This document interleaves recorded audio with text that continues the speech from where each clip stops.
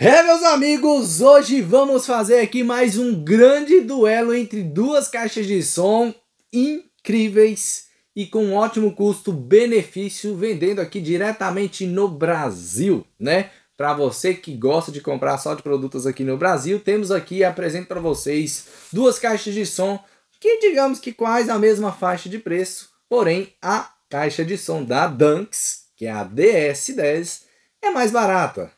Será que ela é melhor? Será que ela tem vai ganhar não só no preço, mas vai ganhar na fidelidade áudio? Ou a Aiva Bombox Plus, a inspiração aí na JBL Bombox 3, vai levar a melhor aí na fidelidade de áudio por ser um pouquinho mais cara? A gente vai descobrir.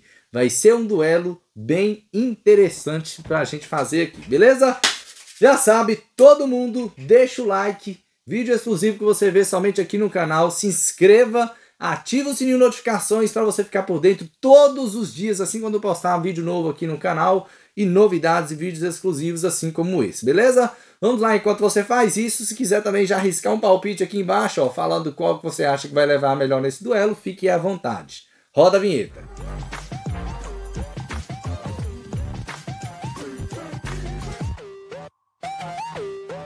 Sem muitas delongas, sem muita enrolação, Aiva Bombox Plus nessa lateral e nesta outra lateral temos aqui a Dunks DS10.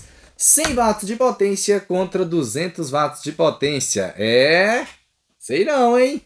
Bom, links para compra vai estar aqui na descrição, né? Caso você queira adquirir uma para você, lojas confiáveis para você estar adquirindo a sua, onde você vai ter total segurança de comprar e receber aí na sua casa. Combinado? Tem os grupos de oferta do canal, onde eu compartilho as melhores promoções diariamente e cupons de desconto. Quer economizar? Quer pagar mais barato? Dentre outros produtos como caixas de som, entre nos grupos de oferta. Tudo aqui abaixo do Telegram e do WhatsApp.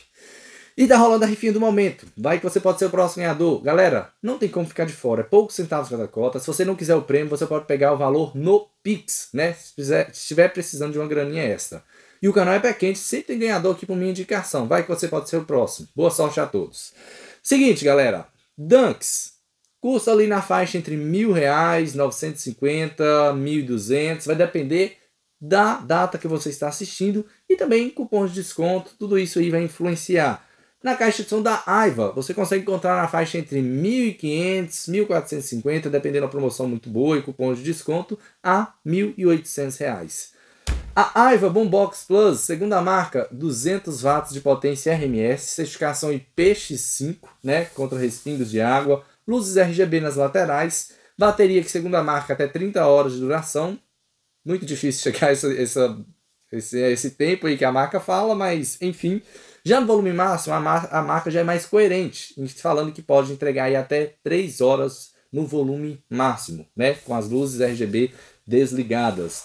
Além de tudo, temos entrada USB para pendrive e cartão de memória. Ponto super positivo dessa caixa: função trocar de passos para quem armazena músicas e utiliza pendrive, né? Não vai ser para todos que vai ser um grande benefício, mas para alguns sim. E o aplicativo, para quem usa Bluetooth, né? É um ponto super positivo, que você, através lá você tem os equalizadores e também tem a, a customização né, da, dos equalizadores pré-definidos, reforço de grave e também das luzes RGB nas laterais que ela tem a oferecer. A Bluetooth 5.3 nesta caixa, o que mais que ela tem aqui? Função TWS. É uma alça de transporte aqui que você leva como se fosse a Bombox 3, né? A inspiração total na Bombox 3.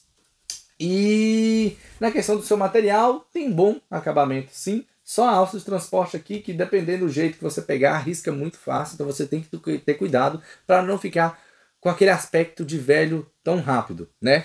Na Dunks, uma caixa de som extremamente robusta. Eu costumo dizer que essa daqui é como se fosse uma, para quem conhece, né, a caixa de som Anderson de Core Motion Boom, porém mais encorpada, com mais potência, com mais força no grave e subgrave.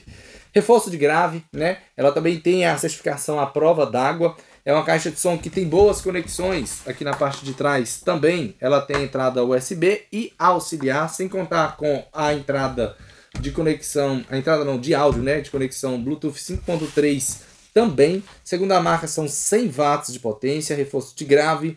É, que mais que ela tem aqui que eu posso falar para vocês? Bateria que pode passar aí até de 12 horas, vai ser de acordo com o seu uso, tipo de música, isso tudo vai influenciar, né?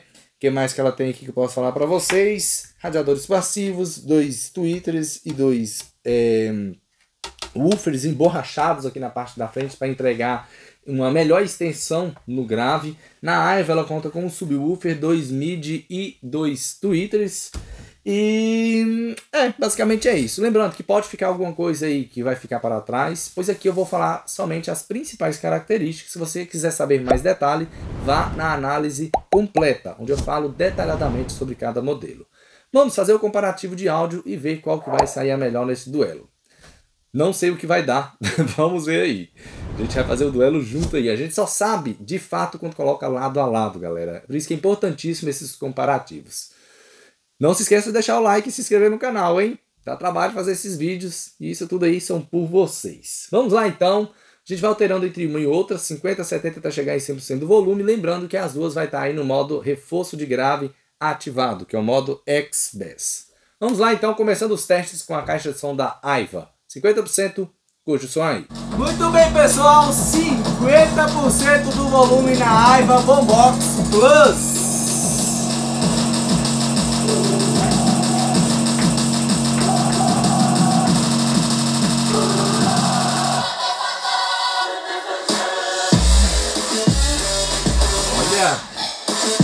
Saindo bem.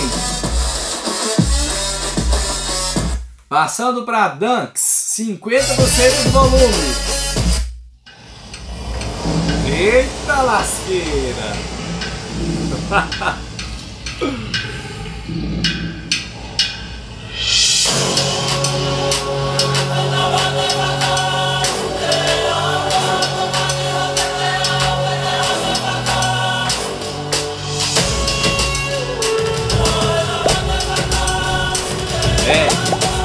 deu pra sentir a diferença aqui no subgrave. Olha, profundidade do grave também.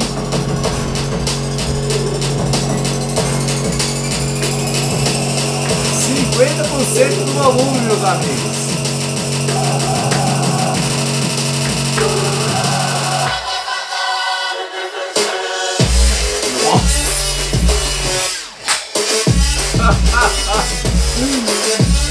Tá doido?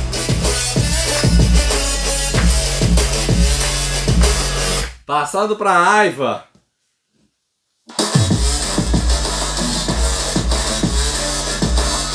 As duas tá com bom grave, mas a Dante está saindo bem melhor. Sinta, passando aqui para Dante.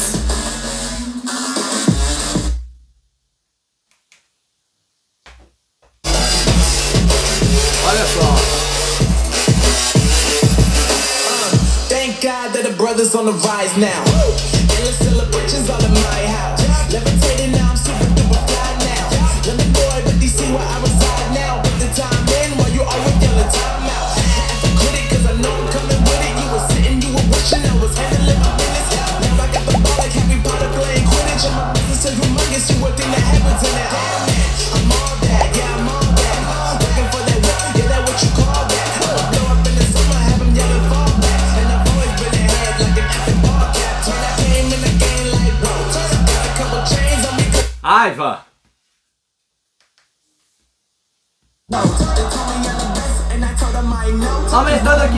Aqui agora. 70%.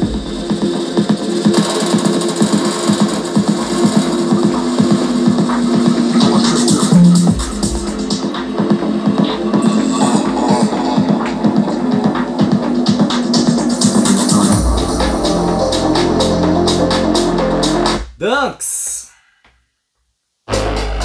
70%.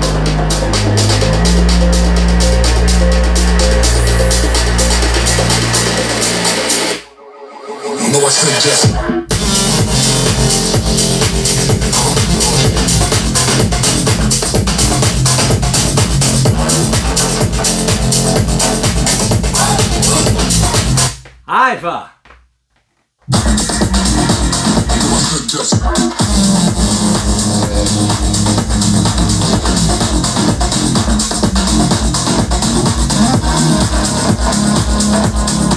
Dunks.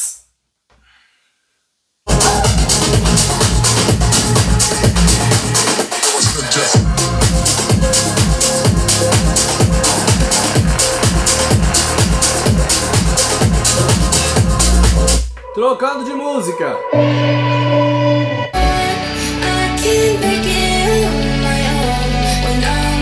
Profundidade do grave.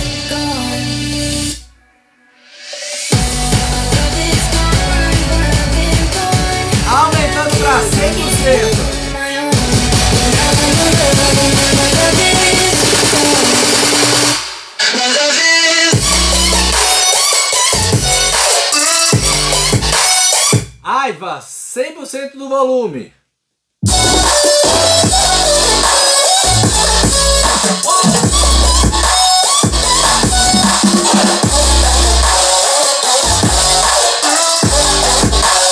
Dunks.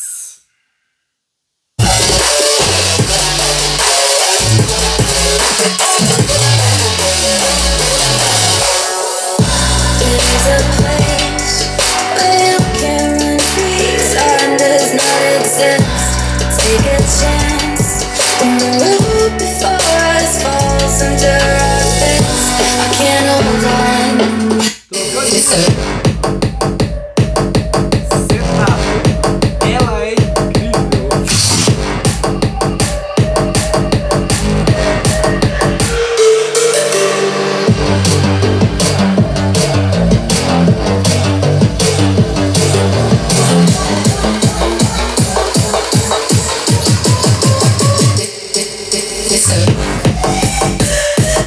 Aiva.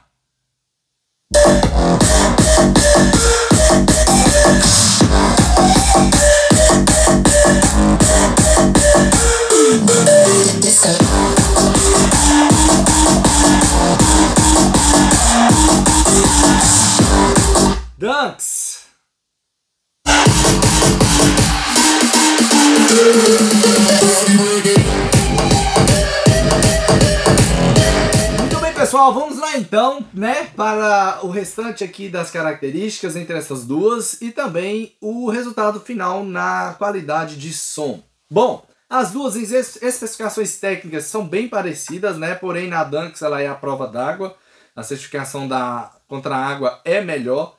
É, em potência, né, são 100 watts contra 200 watts. E não é que no volume final a Dunks é mais potente? Olha só que bacana, né? É a clareza que a marca tem ao, ao falar a sua potência real dos produtos. As duas mostram ter um bom acabamento, porém em resistência e na prática a Dunks parece ser mais resistente, ser mais robusta, um material com a qualidade, por mais que é um pouco mais é, um material, por passar um material mais resistente, ela parece ser também, né, ter uma, digamos, com uma duração, né, de aspecto para ficar mais novo por mais tempo. Exatamente por ser um plástico duro, galera, duro mesmo, que é assim, você bate o olho e fala, caraca, ela é bem, né, robusta mesmo. Na, nas conexões, a Aiva vai sair a melhor por conta ali, digamos, da função trocar de pastas. Isso também vai ser um fator decisivo, ou talvez não para alguns, que é a função trocar de pastas e também o aplicativo que a Aiva tem aí no seu produto, né? Mas e aí, preços, né? A, a Aiva é mais ou menos ali uns 400, 500, 600 reais mais cara do que a Dunks. Será que vale a pena você investir, né, esse valor todo e pegar a caixa de som da Aiva? Eis a questão. No som, né? As duas entregam um bom grave, uma boa profundidade, um bom subgrave. No volume final, né? Vocês perceberam aí que a Aiva ela começa a distorcer um pouquinho e começa a se perder um pouquinho ali no agudo, entregando um som um pouco mais craquelado e não com tanta limpeza. No modo geral, a caixa de som é bacana, entregando um bom médio, um bom grave, um bom subgrave. Em 50% do volume, em 70% também ela consegue manter, porém em 100% ela dá um pouco ali de degradação, principalmente no subgrave, né? E dá essa levada, esse ganho, é, digamos que um pouco desproporcional no agudo, ficando um pouquinho craquelado e marcando mais presença, exatamente para poder dar esse ganho na potência, para poder, digamos que, beirar esses 200 watts que a marca informa, que eu acredito que não deve chegar aí nos 200 watts. Beleza, ok. Na Dunks é uma caixa de som impressionante, galera. É incrível o poder do grave e subgrave que essa caixa de som tem a oferecer. Desde em 50, 70 e 100%, ela estava um passo à frente, principalmente na profundidade, na extensão do grave e o subgrave monstruoso. Né? A Aiva tem o seu subgrave bacana, tem, mas porém, para quem gosta e para quem é fã, né, principalmente do grave, da profundidade do grave e o subgrave, a Dunk se saiu melhor. Em 100% ela tem um agudo mais contido, entregando um médio com muita clareza, né? E no volume final, mesmo assim, entregando um, um som mais equilibrado, um som mais limpo, no modo geral, desde o grave, é, desde as frequências mais baixas até as frequências mais altas. E olha que, né, é uma caixa de som mais barata que está aí no mercado. É impressionante, é um dos melhores custo-benefício para quem procura, né, é, digamos que preço barato e uma qualidade e potência incrível, que é o que acontece aqui na Dunks. Neste duelo, sem sombra de dúvidas, eu fico com a caixa de som da Dunks, no modo geral, desde o seu preço quanto na qualidade sonora. Nas especificações técnicas, eu já fico com a caixa de som da Aiva, exatamente por ter o aplicativo, né, e também por ter a função trocar de pastas. Mas será que vale esse investimento todo por conta dessas, né, dessas especificações a mais que a Aiva tem. E outro detalhe, não desmerecendo essa caixa, galera, que é uma boa caixa de som sim também, e é um caso a se pensar, ainda mais se você gostou do design, do estilo dela, que lembra muito a Boombox 3, beleza? É isso, espero que vocês tenham gostado, tá aí tudo bem explicadinho para vocês, links para compra vai estar aqui na descrição, é, não se esqueça de deixar o like, vídeo exclusivo aí para vocês, se inscreva no canal, ative o sininho de notificações, não se esqueça de fazer isso, porque assim que eu postar vídeo novo, todos os dias, produtos exclusivos e de tudo um pouco sobre tecnologia que você vê por aqui, você será notificado imediatamente, por isso que é importantíssimo você ativar o sininho. E se quer ficar ainda por dentro, ainda mais das, das novidades do mundo da tecnologia, dos vídeos exclusivos, siga o canal nas redes sociais, principalmente no Instagram, arroba Jeff Recomenda, e entre nos grupos de oferta, que também volta e meio compartilhar os vídeos postado diariamente aqui no canal para você não perder nada, né, dessas novidades dos vídeos aí para vocês, beleza? É isso, galera. Espero que vocês tenham gostado. Participe da rifinha também, né? Poucos centavos cada cota. Vai que você pode ser o próximo ganhador. E é corrido pela Loteria Federal. Você pode estar concorrendo aí uma caixa de som de qualidade, principalmente da JBL. É, smartphones como Apple, como Galaxy S24 Ultra, S23 Ultra. Enfim, vai depender da data que você está assistindo e a rifinha que está rolando no momento. Participe você também. Boa sorte a todos. Um forte abraço até o próximo vídeo.